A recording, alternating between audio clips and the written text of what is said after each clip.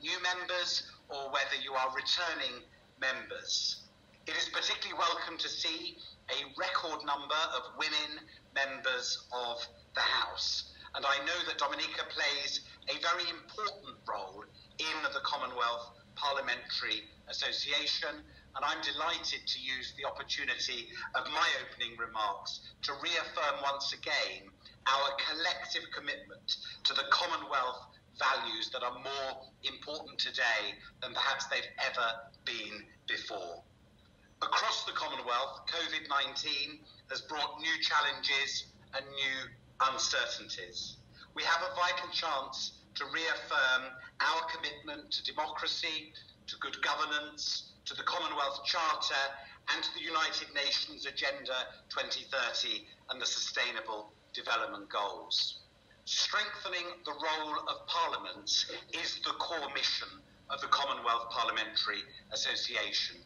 And post election seminars have long been a particularly effective tool for our work. This week's aim is to build and strengthen capacity and to share best practice. Peer to peer learning has great benefits and I'm delighted that we have such a strong resource team participating during this three day seminar.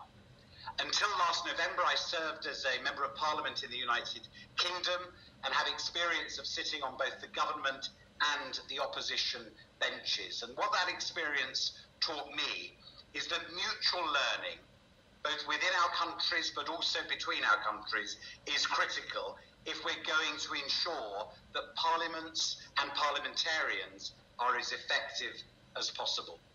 So I hope you have a fruitful, constructive, and enjoyable three days. I look forward to joining you again in the seminar uh, on Friday.